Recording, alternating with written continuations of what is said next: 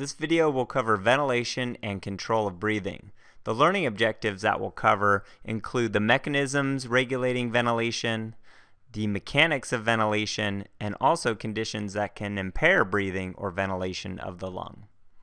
The first learning objective is explain the mechanisms that control and regulate breathing, or as we'll call it, ventilation. So how much air is ventilating into or out of your lung. First of all, you might think about why do we even need to breathe in the first place? Well, our atmosphere is full of gases like oxygen and nitrogen, even some carbon dioxide. So we need the lungs to ventilate in order to get oxygen in close contact with our body cells and also to get rid of carbon dioxide or CO2. So that's why we need to breathe. We're moving oxygen into our body and carbon dioxide out of our body through the lungs. If we look at our cells, it reminds us, well, why do we need oxygen in the first place? Well, cells need oxygen and they make lots of CO2, and this comes back to cell metabolism. So if we look at any basic cell in the body, most all of them have a mitochondria, and so when we look at cell metabolism, we can take glucose and make a tiny bit of ATP when we convert glucose to pyruvate. We call that process glycolysis but it doesn't make a lot of ATP. So we take that pyruvate, fatty acids, and amino acids and nutrients, shuttle those into the mitochondria along with oxygen, and we produce lots and lots of ATP through chemical reactions. We also produce some byproducts in addition to ATP like heat and carbon dioxide. So this is why you're, you continually have to breathe. Our cells need oxygen and they produce CO2 in order to make ATP. You notice this when you exercise, you increase cell metabolism, and then you need to start breathing deeper and faster. Again, why are you ventilating so much when you exercise? Well, again, your cells are using up and needing more ATP, and so you need to get more oxygen to those cells and more CO2 out of your body.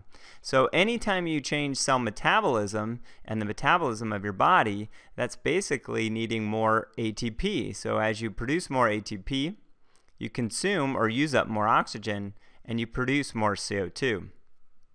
This leads to a way that exercise scientists can actually measure your body metabolism both at rest and during exercise.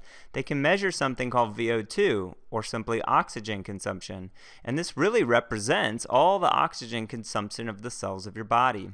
You can also measure CO2 production, and you can do this with a mask at your mouth, breathing, or excuse me, measuring what you're breathing in and out of your body. And so when you exercise, most of those active cells are skeletal myocytes. So ventilation of our lung is the air we breathe in or breathe out in a minute.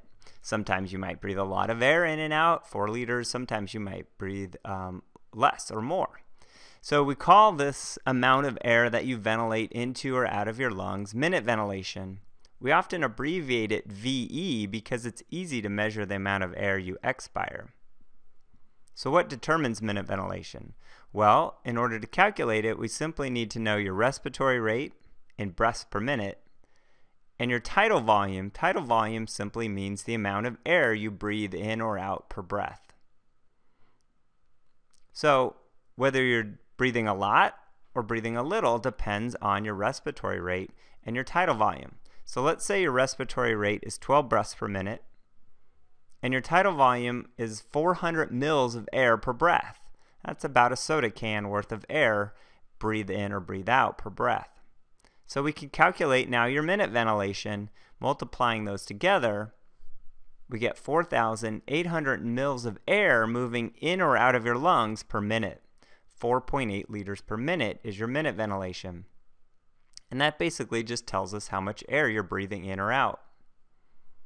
This is important, obviously, to get oxygen into your lungs and into your body, and to get CO2 out of your lungs and out of your body. If you increase your ventilation, you increase the amount of oxygen getting into your lungs. If you decrease your ventilation, you decrease the amount of oxygen getting into your lungs. So in this way, our body is going to continually adjust our minute ventilation all day long in order to maintain homeostasis. So adjustments in your breathing or ventilation all day long are basically going to end up regulating the body's oxygen levels, the body's CO2 levels. And again, those are things we want to keep constant.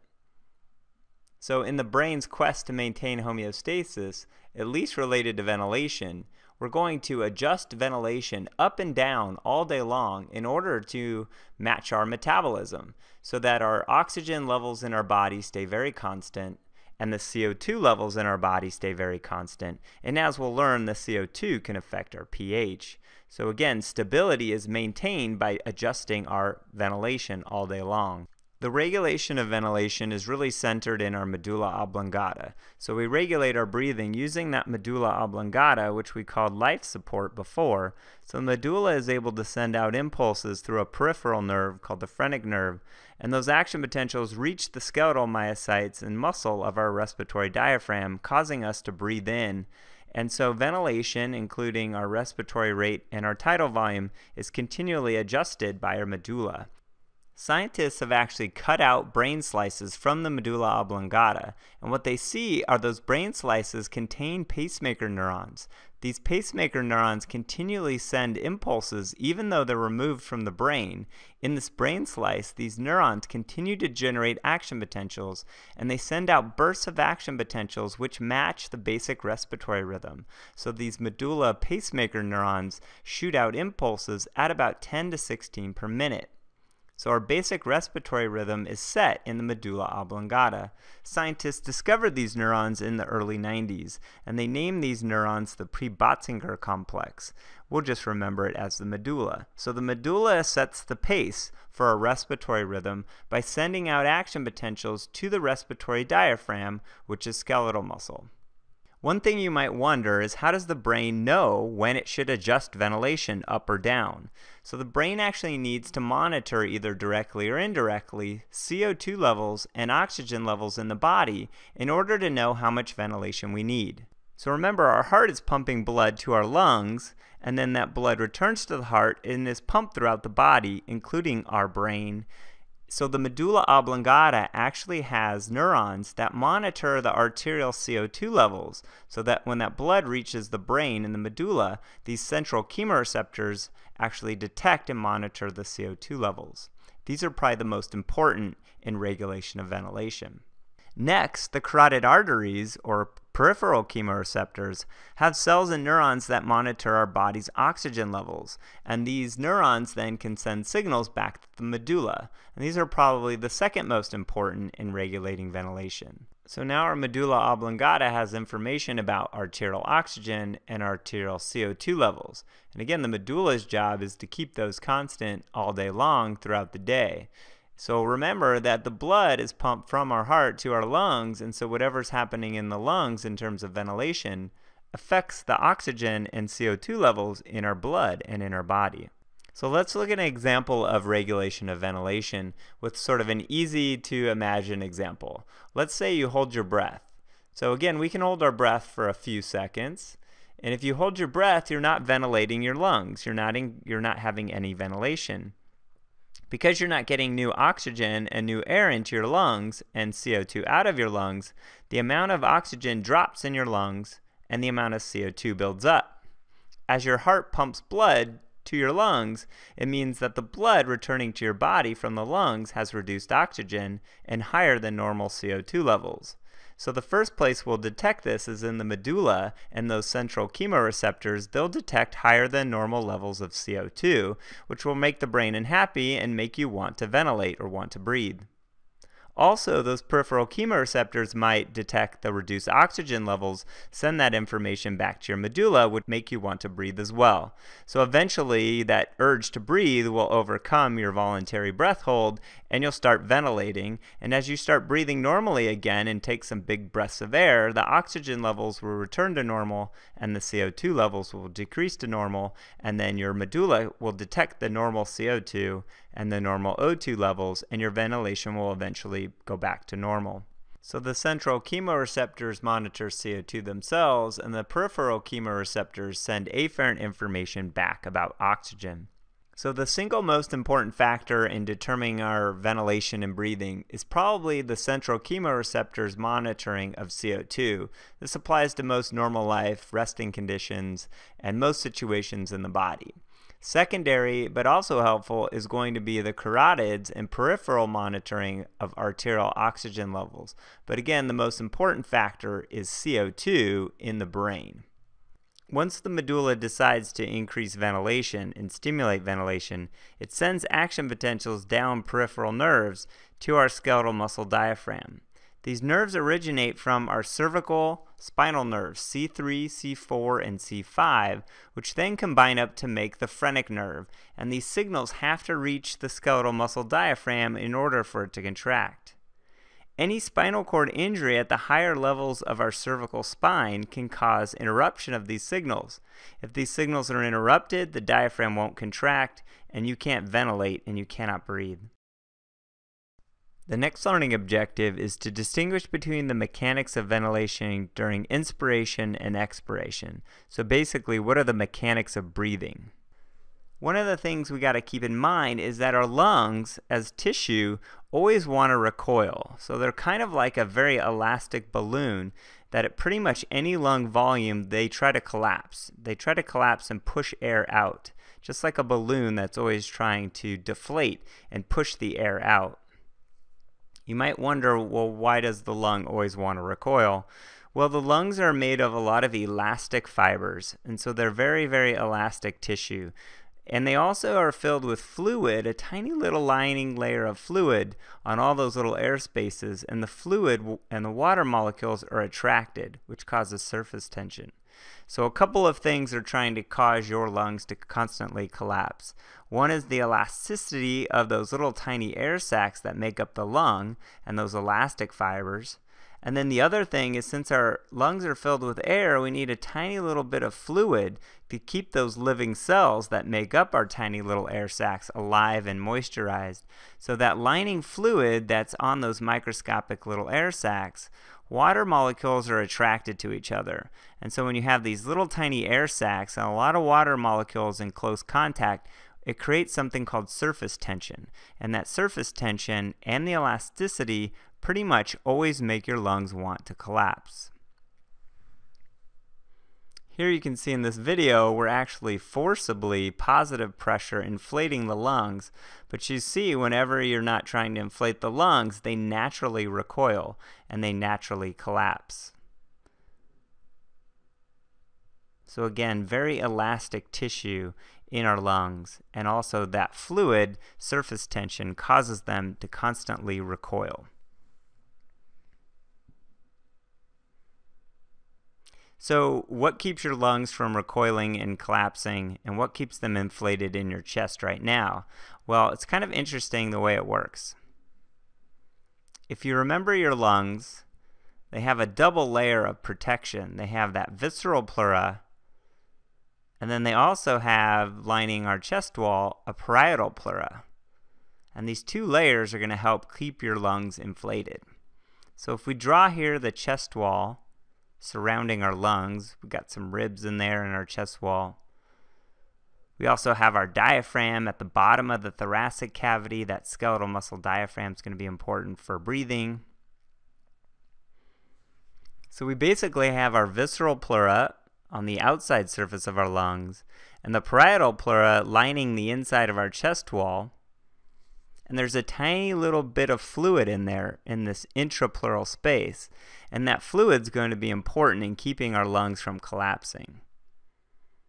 So this fluid-filled space is often called the intrapleural space. Sometimes it's called the pleural cavity.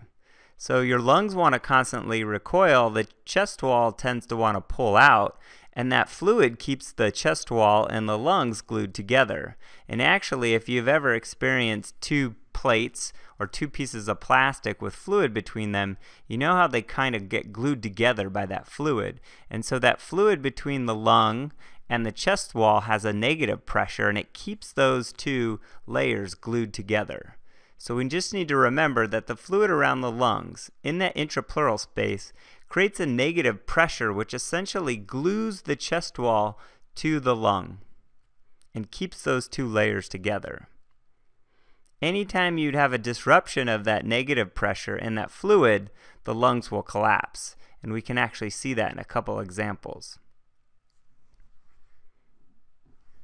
So what happens if your chest wall or your lung wall is ever disrupted? Well, first, let's look at a spontaneous rupture of your visceral pleura. And this can happen sometimes. You can get a spontaneous collapsed lung. What happens is uh, air starts to fill into that fluid space. We lose the fluid glue, we lose the negative pressure, air fills the intrapleural space, and our lung collapses like it naturally always wants to. Similarly, if your chest wall is ever pierced and the parietal pleura is disrupted, either from a stab or trauma, air will rush in there because of that negative pressure in the pleural space. Again, we lose that negative pressure and we lose the fluid glue, and air rushes in there and our lung collapses again. So we see how important it is to have that negative pressure and that fluid in the intrapleural space. Anytime it's disrupted, our lungs would collapse. Let's look at the mechanics of breathing, or how do you actually ventilate and fill the lungs and also get rid of air. We'll start with an easy version. If you want to inspire or breathe air into your lungs, it works like this. The medulla sends signals down your phrenic nerve, causes your diaphragm to contract. When your diaphragm contracts, the chest expands, the lungs expand, and air fills and flows into our lungs. All right, so that's breathing in. What about when you want to breathe out? Well, for breathing out, we simply stop contracting our diaphragm, call that expiration. When we stop contracting our diaphragm, the diaphragm relaxes and goes back to its relaxed position. But more importantly, the lungs recoil. Remember, we said the lungs are always wanting to recoil because of surface tension and elasticity. When the lungs recoil, it basically creates an airflow out of our lungs to the atmosphere. And we breathe out. So that's inspiration and expiration. So when you inspire, you simply contract your diaphragm, which is skeletal muscle. That causes the lungs to expand, which draws air into your lungs. When you want to expire, expiration, you simply relax your diaphragm.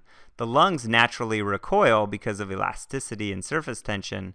The lungs then recoil and push air out of our lungs. And that's it. So now let's look at mechanics of breathing, a little more advanced version. So when we inspire or breathe in, we send signals down the phrenic nerve, causing our diaphragm to contract. The diaphragm contracts downward, sort of into our abdominal cavity. When the diaphragm contracts downwards, that increases the thoracic cavity's volume, which decreases that intrapleural pressure around the lungs. Remember, that pulls the lungs open because they're essentially glued to the chest wall. When the lungs expand, due to the contraction of the diaphragm, we've now increased the lung, uh, the lung volume. This causes the pressure inside the lungs to drop.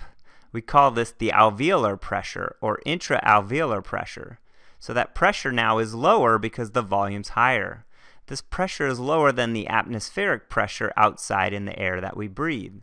This causes air to rush into our lungs. There's a pressure gradient, 760 versus 756, and that causes air to rush into our lungs due to the pressure gradient. I like to think of it sort of like wind. So we have higher pressure outside and lower pressure in our lungs. Once those pressures equalize, then we're done breathing in, and no more air will go in. We're at end of inspiration. Now we want to expire. So how do we expire? Again, we just simply relax our diaphragm. More importantly, our elastic lungs will start to recoil because of their elasticity and the surface tension of the fluid. So when the lungs recoil, the lung volume is going to actually decrease.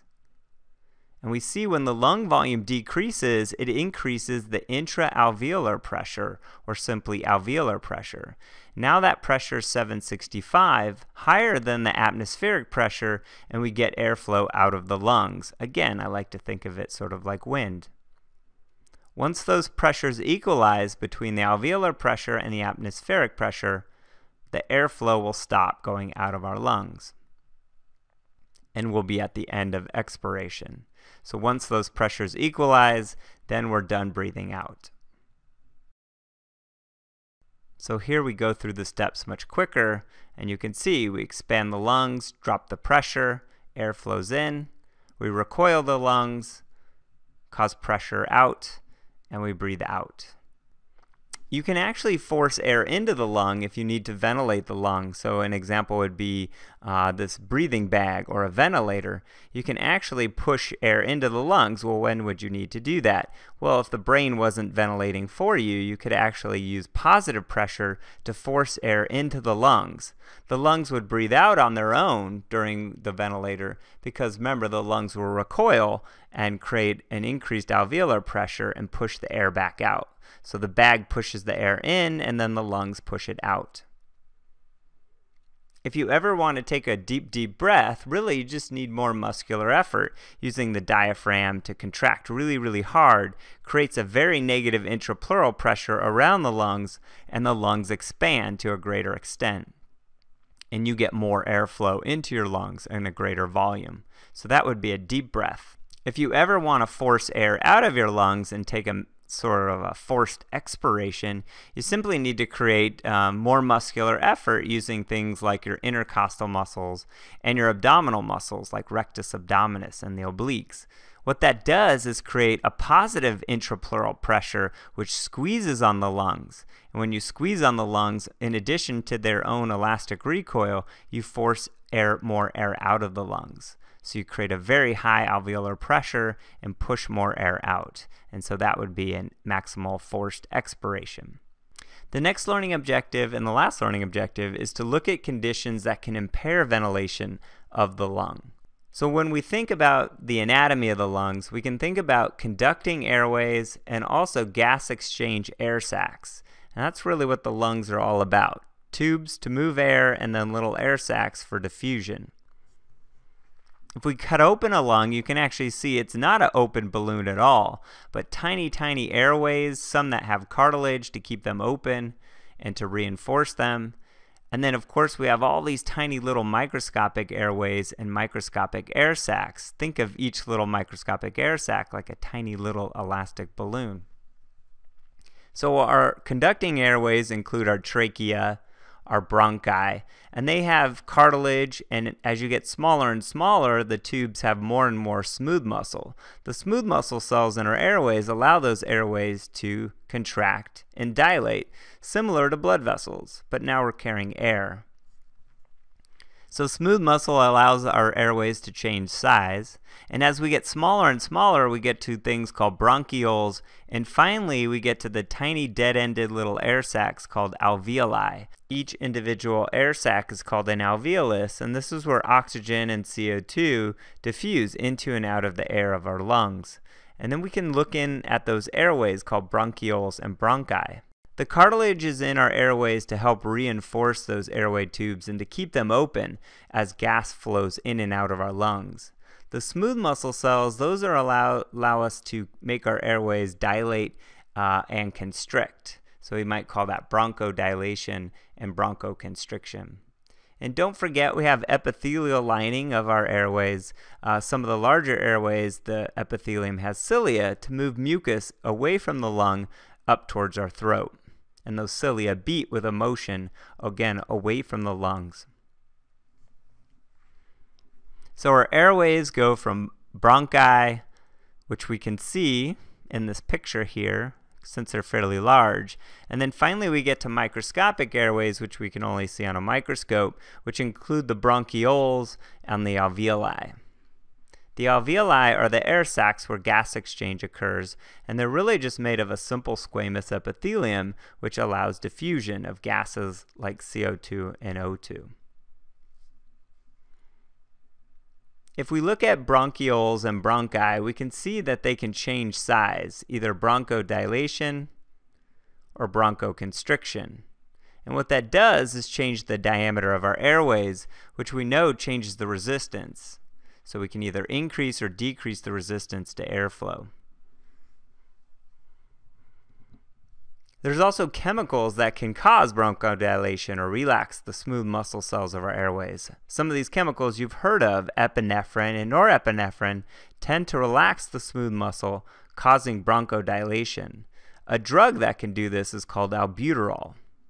Also, nitric oxide gas and CO2 gas can cause bronchodilation of the airways. Bronchoconstriction is caused by chemicals such as histamine and acetylcholine. So now you might be able to predict whether your parasympathetic or sympathetic nervous system will either dilate or uh, constrict your airways. People that have asthma need to need to open up their airways sometimes, and we can use drugs such as epinephrine or albuterol to open the airways, and other drugs to block acetylcholine to help open up those airways as well. Again, in asthma, we need to cause bronchodilation sometimes to help those patients. Here's a histology image where you can actually see those tiny little microscopic alveoli, clusters of little air sacs. And again, they're just made of simple squamous epithelial cells, so they're not much to see, and those open spaces are where the air would be. So each of those is an alveolus. Alveolus are made of simple squamous epithelial cells that create a single layer of cells in a tiny little air sac. And of course, they're also supported by connective tissue, which has lots of collagen and more elastic fibers. Circling around the alveoli are capillaries, alveolar capillaries. And alveolar capillaries, you remember, all capillaries are made of a simple squamous epithelium as well. So this is a great way that we can allow diffusion from the air into our blood, simply crossing two cell layers and a little bit of connective tissue to get in and out. So the alveoli is where gas exchange and diffusion occurs in our lungs. We only have two cell layers to cross to get from the air in our lungs into the capillaries and in our blood. A disease you may have heard of called emphysema, which is usually caused by cigarette smoke, you can actually see how the histology of the alveoli has changed. And what we see is a destruction and damage of the little tiny air sacs in the lungs of this emphysema patient. So what happens is cigarette smoke and the chemicals in cigarette smoke activate immune cells like macrophages and neutrophils, which then start to destroy the connective tissue and the little alveoli and even the alveolar capillaries. You lose elasticity and you lose the gas exchange areas of your lungs. So you may have heard of a disease called chronic obstructive pulmonary disease or COPD. It includes a condition called chronic bronchitis and another condition called emphysema. Usually these happen together in patients with COPD. In emphysema, the alveolar capillaries are destroyed. In chronic bronchitis, we have inflamed, uh, sort of narrowed airways. We also have loss of elasticity. So both of these make it very hard to breathe when you have COPD. And then the loss of the alveoli makes it very hard for gas exchange of oxygen and CO2 in and out of your lungs. So you can see why COPD is actually the number three killer, uh, I believe, in the United States, and most often it's associated with cigarette smoke. So again, here's a cartoon of of people with COPD, you have destruction of the capillaries, destruction of the little alveoli. You also have mucus plugging of some of those airways and bronchioles. It makes it really hard for those people to get oxygen into their body and CO2 out. You've probably heard about asthma before. The causes of asthma are probably complex, involving genetics and allergies, uh, maybe environmental triggers. In any case, it causes bronchoconstriction and inflammation, which can cause narrowing of the airways, and sometimes in an asthmatic attack that could be dangerous or deadly. It's a chronic disease of inflammation uh, that causes narrowing of our airways. So, goals to treat asthma would really be to knock down that immune response and decrease inflammation, but at the same time promote bronchodilation. So, relax those smooth muscle cells and enlarge those airways. And drugs usually target both of these mechanisms when they treat asthma decreasing inflammation and increasing bronchodilation. You may have heard that premature infants have a hard time breathing. You may even hear that called respiratory distress, and I wanted to talk a little bit about why. Normal gestation to full term is about 40 weeks, and premature infants born about 28 weeks or less, or even sometimes a little more than 28 weeks, are at risk for this respiratory distress. The reason is they don't produce a chemical in their lungs called surfactant. So remember our alveoli are lined by living cells, living epithelial cells. And so we actually have to have a tiny bit of fluid that lines all the spaces of our lungs in our airways. That fluid, I like to think of it, is protects those little epithelial cells and keeps them from drying out. Well, it turns out that we produce this chemical in that fluid called surfactant and there's a certain kind of epithelial cell that makes that surfactant. And in those premature infants, they haven't quite made it yet. And so water molecules are attracted to each other, especially when they're close, close together. We call that surface tension, and that water attraction can actually collapse the little alveoli. So again, if you have fluid lining your lungs without surfactant, the little alveoli will tend to collapse. If you add surfactant, it reduces the surface tension of the water molecules, disrupts it, and actually keeps those alveoli from collapsing, which decreases the work of breathing, keeps the alveoli open. So imagine if you're a little premature infant and you have all these little collapsed alveoli, it makes the work of breathing very difficult. It also reduces areas for gas exchange in the lungs. And so in this way, those little um, infants are having a hard time breathing. So they may need oxygen or perhaps a ventilator. All right, that's it. I will see you guys in class.